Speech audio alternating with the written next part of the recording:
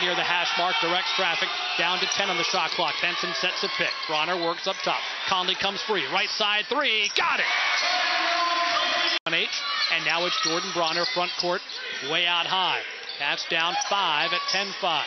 Rhodes, left side. He has a lane. Going strong to the goal. Left hand finish. It's 10 7 Stony Brook. Hands a fist out left side to call the play. Benson comes up to set a screen for him. Bronner dribbles back with seven on the shot clock. Down to the baseline. Pull up, soft jumper, left side, good. Bronner shoots over the pull up, gets double teamed, reverses to Bronner, right wing.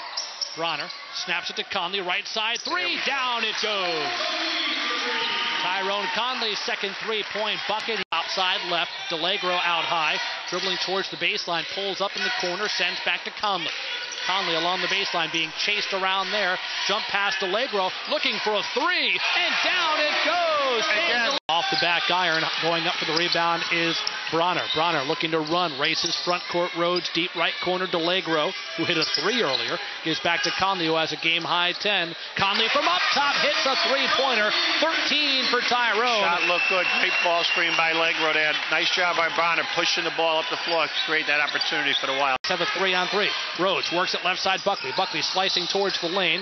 Kicks it out to Valadares. Uh, Valadares works at right corner. Wide open. Bronner three. Down it goes. Jordan Bronner. Quickly ahead front court. Goes one on four. Throws one up. No good. Benson rips the rebound away, but he was under the cylinder. Got blocked by the rim. Gets his own rebound. Kick out Rhodes. And Rhodes connects for a three point field goal. It's 56 48. Double free throws the rest of the way. Here's the front end. He missed it. And Benson Right. rebounds. Cats have to hurry down 59, 52, 50 seconds left. In the front court, it's Rhodes. Rhodes trying to direct traffic. Conley coming around the screen, can't get open.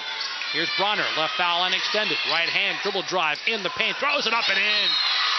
Nice move by the freshman. He has definitely not played like a freshman in this basketball game. Bronner slicing his way in left to right while